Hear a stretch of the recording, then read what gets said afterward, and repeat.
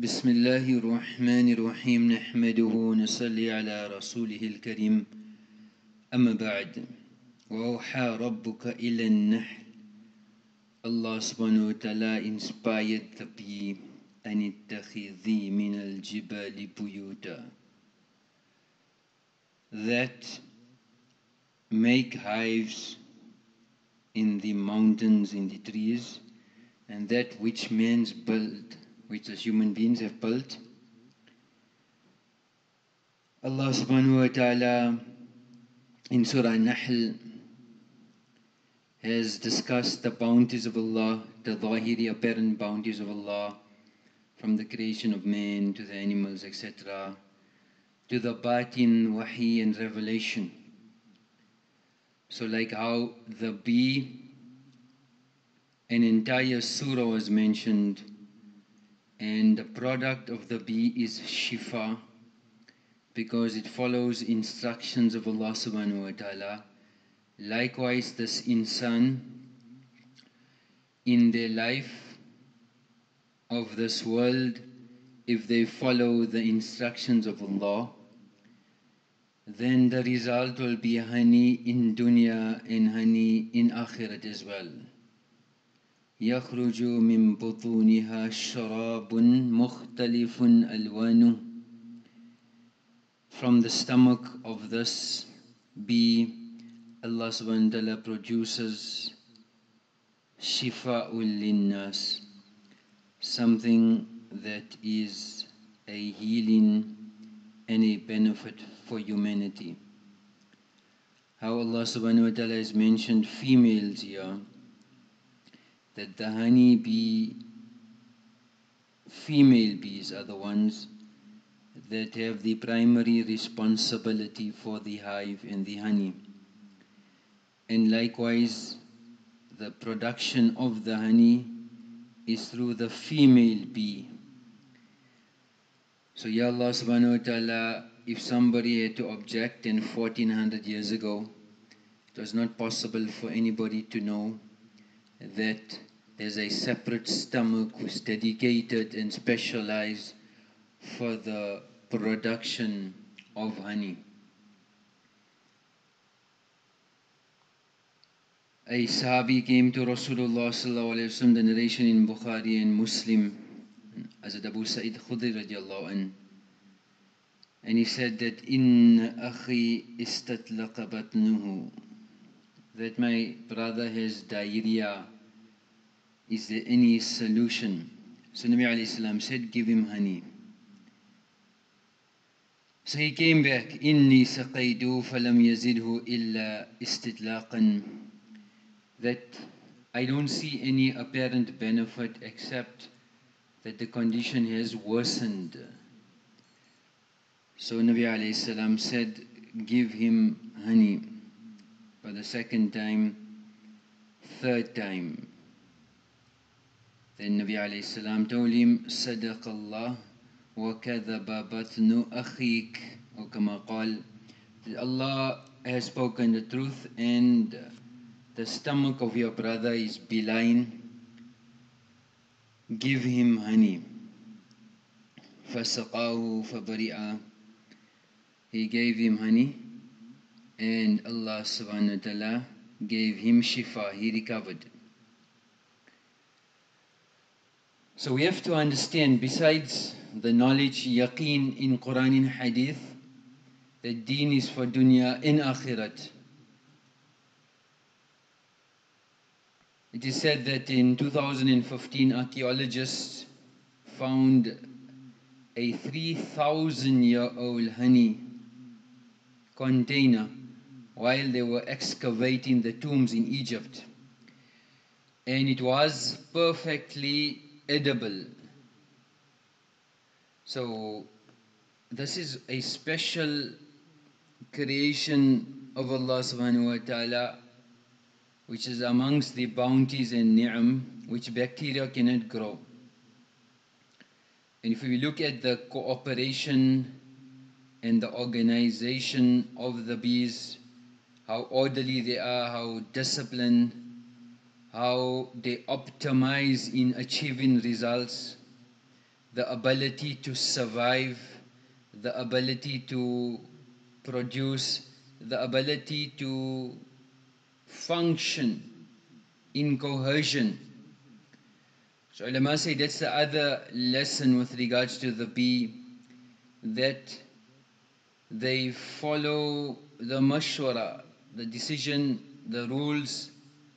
The queen bee sets the rules and you need to follow the instructions. Whatever mashwara has decided, whatever the amamir of Allah, we need to follow that. So there are approximately around 20,000 species of bees and from the engineering to the architecture, from all the creations of Allah.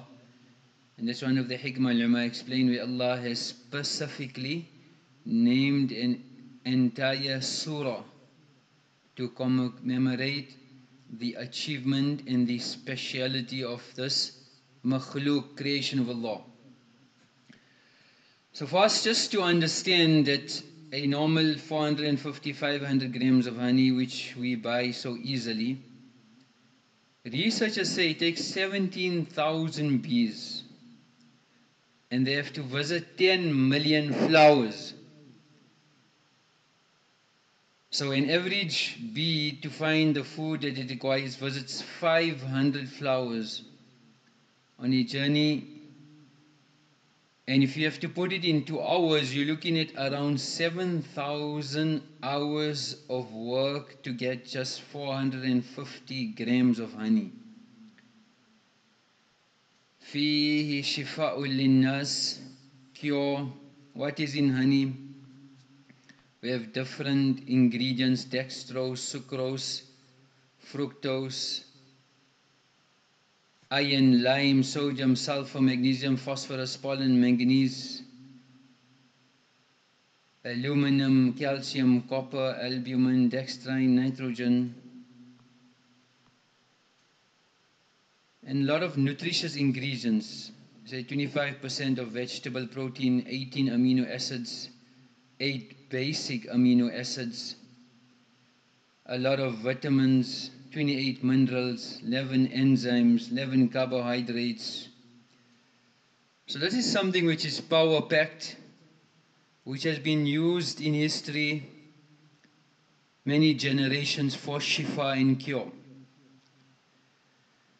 So one is the normal honey, but from the ayat, the Mufassirin explain that Allah subhanahu wa ta'ala in the ayat of the Quran first speaks about jibal, mountains. So they say the best honey, honey is the mountain honey.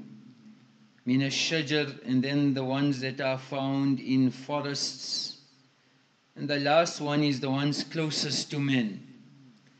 So we have to source out honey. Let us try to source out honey that is original from the mountain, not connected, where nowadays most of it is made of sugar and is far from what honey should be. So a person should not get caught in the trap of saving money and compromising on the quality of the honey that we should be purchasing. Amongst the types of honey is the royal jelly and it has more compounds because it's rich in hormones, minerals, vitamin B, folic acid, fatty acids, acetylcholine, which is uh, a deficiency which results generally, scientifically they say, causes Parkinson's disease, Alzheimer's and other diseases of the nervous system.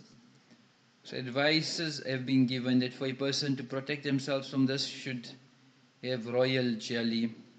Then it has amino acids, proteins, fats, carbohydrates. There's aspartic acid, Aspartic acid is special because uh, it plays an important role in renewing and, and strengthening soft tissue in the body.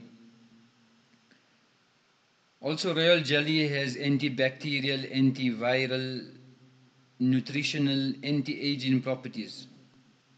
So people want to look younger and want to rejuvenate their cells. So here's a solution Then people have respiratory, skeletal, nervous, endocrine, cardiovascular, immune, and cellular deficiencies. It assists and strengthens all of this. It stimulates hormone balance, regulates and normalizes hormonal and metabolic functions. Then with regards to skin, it protects the skin, it treats the skin, it helps in chronic fatigue, trauma. If a person's weak, it raises, raises energy levels, lowers cholesterol, fat levels. Then we have an issue where people's arteries start getting hard and that impacts on the flow of blood and maybe a cause for other illnesses.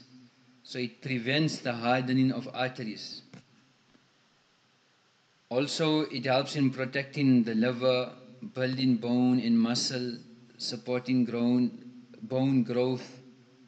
It's good for memory, if a person's forgetful. Weight stabilization. So a person who's obese also, there are some methods where a person takes the honey, it will help in obesity. The doctors in Germany carry on research, they use royal jelly to feed malnourished and premature babies. And they found that these babies' health and weight improved when they were fed royal jelly.